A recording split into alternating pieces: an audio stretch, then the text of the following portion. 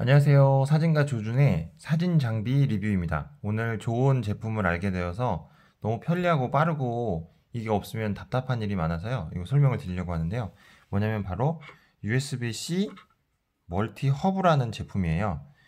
이게 저는 단순히 전에 맥킨토시라는 노트북 회사에서 요 단자들을 다 없애고 아주 작고 경량화를 시키면서 요 USB-C 하나만 만들어 놓은 걸로 알고 있어요. 그래서 예전에 쓰던 이런 다양한 종류의 어 그 멀티미디어 포트를 이용을 이 C를 연결을 해서 하게 하는 장비로만 인식을 하고 있어서 이거를 핸드폰에 쓸 수 있을까라는 생각은 하지도 못했는데요.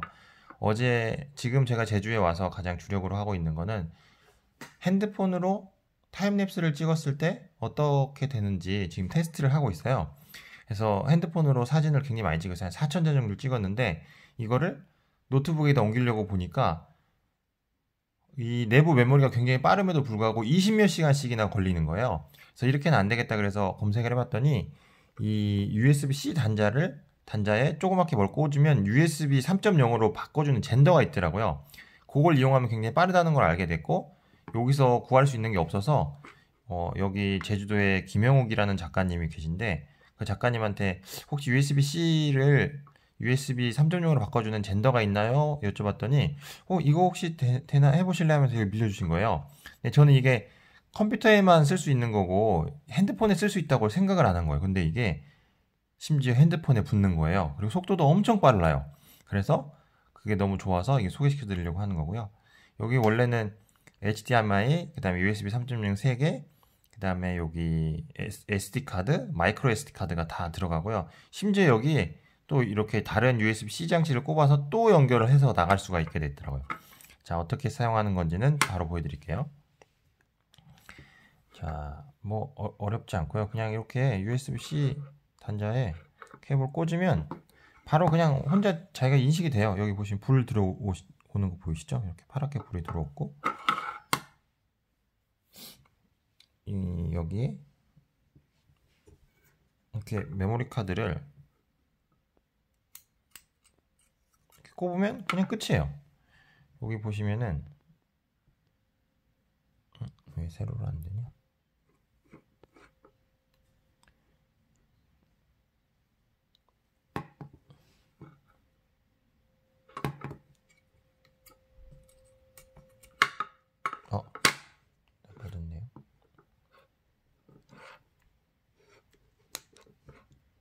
꽂아주면 여기 안드로이드 USB를 연결시켰습니다. 그 다음에 안드로이드 시스템을 통해 파일 전송을 하려면 여기를 누르서 이렇게 뜨죠. 이 설정이 뜨시면 이제 요 그 SD 카드를 USB 파일 전송 드라이브로 인식을 했다는 얘기예요. 그래서 이걸 누르면 어떤 앱이 실행이 되냐면 그 내 파일이라는 앱이 실행이 돼요. 그래서 여기 파일 누르시고 이거 이걸 누르면 이제 내 그 메모리 카드에 어떤 파일들이 있는지를 확인하는 건데 저희는 사실은 이, 가, 이 핸드폰에 있는 거를 메모리 카드로 옮기려고 하는 거니까 여기서 뒤로 가기를 한번 누르시고요. 보시면 내장 메모리가 있어요. 내, 내 핸드폰 내에 있는 내장 메모리 속에 있는 이 카메라에 영상이나 사진을 꺼내려고 하니까 내장 메모리를 누르고 DCMI라는 폴더가 있습니다. 디카 이미지 가요? 뭐죠? 디지털 카메라 이미지 메모리인가요? 뭐 하여튼 이 폴더가 있어요. DCMI 이 폴더를 꾹 눌러주십니다. 꾹 누르시면 옆에 체크할 수 있는 체크박스가 생겨요. 여러 개를 한 번에 할 수도 있고요. 디카 이미지 폴더 옆에 체크박스 눌러주고요. 옆에 복사나 뭐 이동을 눌러주세요. 이동을 누르면 여기 있는 거를 아예 다 옮겨버리는 거고 복사를 하면 여기도 남아있고 카드에도 남아있게 하는 거예요. 그래서 저는 이동을 할게요.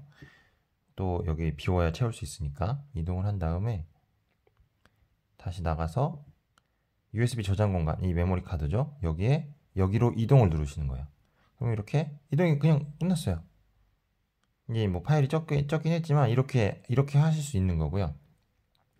그 다음에 더 재밌는 게 있는데요. 뭐가 있냐면 지금 이거는 메모리 카드를 여기다 이렇게 바로 이 리더에 꽂은 거잖아요. 근데 다른 굉장히 빠른 메모리 카드에 이건 XQD라고 해서 속도가 거의 500메가까지 나오는 엄청 빠른 말하자면 SSD 그 리더기거든요. 근데 세상에 리더기가 붙어요. 여기 보세요. 여기에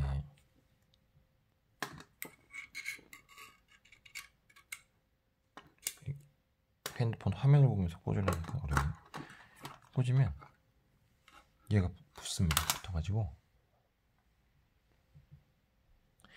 소니 USB 드라이브 미디어 파일 전송하면 여기 누르세요. 여기, 여기 붙는 거예요. 그래서 이 어제 제가 지금 옮겼다는 이, 이 폴더거든요. 디카 이미지 이런 것들이 이게 막 수천 장이 막 엄청 빠르, 빠른 속도 20 컴, 컴퓨터로 옮겼을 때는 22시간 걸렸어요. 컴퓨터로 옮길 때는. 근데 요 굉장히 빠른 메모리 카드를 써서 옮기니까 7분 정도 걸리더라고요. 그래서 요 USB-C C 허브와 이 메모리 카드 조합이면 그 카메라의 영상과 사진이 얼마나 많이 있든지 간에 굉장히 빠른 속도로 굉장히 쉽게 컴퓨터로 잘 옮길 수가 있습니다. 그래서 이거 꼭 구입하시는 거 추천드리고요. 요거에 어떻게 구입하시면 되냐면요. 모든 건 마찬가지예요. 저 같은 경우는 다나와에서 가격 검색을 하거든요. 음, 여기에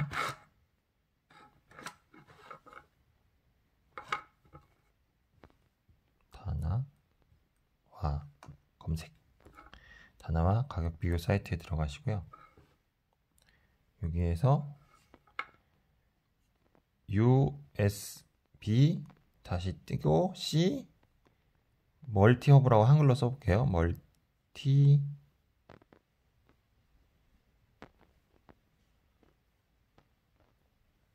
허브 한글로 어, 여기 나오네. 한글로만 쳐도 USB Type-C 멀티 허브라고 나와요. 그러면 요거를 클릭하시면 요 USB-C 멀티 타입 허브가 나오는데 가장 많이 팔리는 게 C 타입 28,900원이네. 3만원 정도면 살 수가 있겠네. 여기 보면은 어, 똑같아요. 확장 컨버터 멀티도 되고 USB-C가 뒤로 하나 더 나온다는 거죠. USB 허브도 3개 나와 있고 뭐 마이크로 SD랑 뭐 이렇게 다 되고 HDMI 빠지게 돼 있고요. 뭐 무전원으로 제공이 된다고 다 나와 있습니다. 그래서 요게 이 뭐 지금도 핸드폰으로 굉장히 많은 일을 하고 있지만 앞으로는 더 많은 일을 하게 될 것 같아요. 그래서 핸드폰 사용에 굉장히 능숙한 사람이 예전 우리 석기 시대 때나 그 수렵하던 시절에는 좋은 그 사냥 도구를 사용해서 사냥을 잘하는 사람이 잘 먹고 잘 살 수 있었잖아요. 지금 현대인의 가장 좋은 사냥 도구 중에 하나는 이 핸드폰이라고 생각해요. 그래서 그것을 좀 더 잘 이용할 수 있는 사진가로서 방법이 이렇게 USB-C 타입 멀티허브를 사용해서 빠른 메모리 카드를 사용해서 엄청나게 빠르게 사진과 영상을 뭐 컴퓨터나 다른 기기로 이동을 할 수 있다는 걸 알게 되어서 요거 오늘 소개해 드립니다. 아, 시간 주셔서 감사하고요. 사실 제 여기 그 제주 여행 중에 촬영을 하고 있는데 비가 오네요. 그래서 오늘은 어, 밀린 리뷰나 영상 리뷰 하도록 하겠습니다. 감사합니다.